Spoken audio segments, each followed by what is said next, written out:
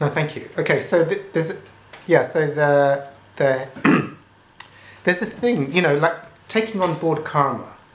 You know, take like when you're a nobody uh, and you're not responsible. Like if I'm just like a drunk on the street, and I just go off and sort of say like uh, I think you're a twat and uh, I don't like the way you look.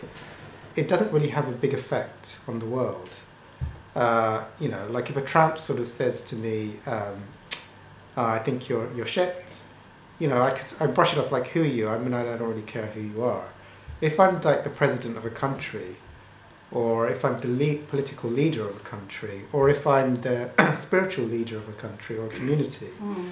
and and and I say, uh, uh, and I have to, on camera, but there was a there was a political there was a there was a there was a political leader who in the past took up the sword and tried to kill um, kill his enemies, and he was very spiritually aware at one point, but he fell, and then he, he asked his, all his religious followers to then destroy the opposition, and it's okay to kill them. So it's it's okay to kill the infidels. It's all right. You have so when you, when you're you have such a position of power, um, and and then you, you and then everyone looks to you like uh, you're the leader, and then you give them permission or you tell them it's right. Go kill the infidels. It's uh, anyone who is uh, anyone who's eating sugar. That's the wrong one to say, isn't it? Anyone who wears a blue hat. anyone who wears a multicolored scarf. I am your spiritual leader. Anyone who wears a rainbow colored scarf should be, should be like destroyed on sight. You have full sanction to put them in a camp and gas them. Okay, so when I'm a nobody, and if I sort of say that like hallucinating on the street, I'm nobody.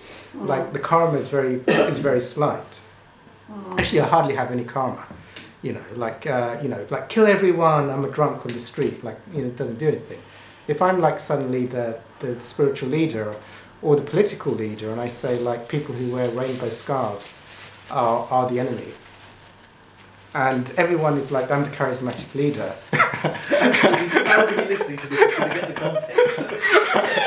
Rain, rainbow scarves and caps. Those are the enemies.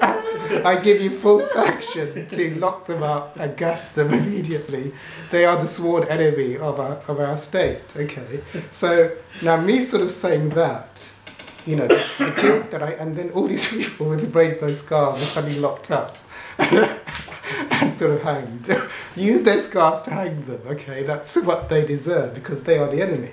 Now, because I'm in such a position of power, and I'm the Yeah. charismatic leader of this nation, this nation, and I've just, I've just said, given permission, like everyone who's angry and disgruntled, go out and look for rainbow-coloured scarves, you know, and, and so that is like that takes on a huge level of karma and a huge level of guilt.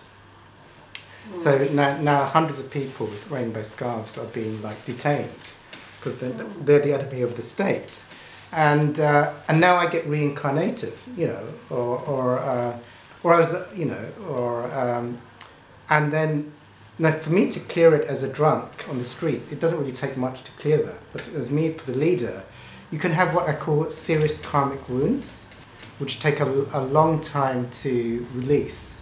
So. So then I might be coming back lifetime after lifetime, uh, you know, and I might have, you know, in one lifetime, like the enemy are people who wear like blue caps. I get born into another lifetime, and it's like the enemy of the state is anyone who wears a blue cap, and I'm victimized, and then I'm executed, and then okay, I you I, you'd think you'd have paid off the blue cap thing, but then I'm born again, and it's like anyone who who has like grey, grey trousers is the enemy of the state. And then I'm like persecuted for wearing grey trousers. And then it's like, okay, but okay, I've, I've paid off the grey trouser karma.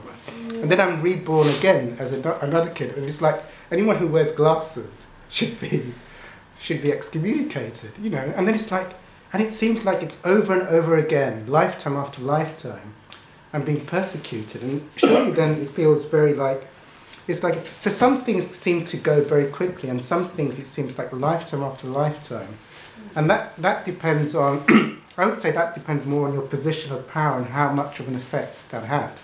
I think if you're a nobody and you just steal one donut, I think that's quite easy easy to clear. If I've sort of if I'm the political leader of a country, and I say like uh, hang anyone with a rainbow-coloured scarf, and like 300 people get hanged with rainbow-coloured scarves, then I could get like that could be like five lifetimes of hmm. being persecuted for one thing or another because it's like I'm just reincarnated into the victim group that's being taken the and it's not like you know and it's like okay I'm like helping people now. In this lifetime I'm helping people who have rainbow scarves.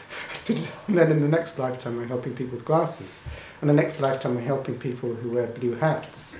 So it becomes like that so some karmas take a long time I, when you think of like someone like I think I'd use Adolf Hitler you know if, if you get reincarnated like how long does it take to clear the karma of being Adolf Hitler and uh, gassing all the Jews. Now, like one person comes off and they do a bit of spiritual work and they're happy and clappy. They win the lottery and they have a Ferrari. Another person is like they're, they're born and they've got really abusive parents and they really work hard and they can't earn money. And then they're born again for another lifetime and they're struggling. So it's like you can't really see what happened. Um, you know, I, I feel sorry. I mean, Hawkins kind of alluded, don't be a spiritual. Don't be, you know, like I think uh, I might do a video like putting people off becoming a spiritual teacher. Um, because if you're a spiritual teacher and you, and you sort of say like, uh, uh, okay, like sex is holy, let's all have sex orgies, and uh, and it's good to donate money because um, to my poor children charity, and then I have 97 Rolls Royces. I'm going to piss people off with this video. But, I uh, think so. We'll think you're drunk. I, I realised it was going to be a fact against that very beginning. People I think, seriously right, think, think you're on drugs or something.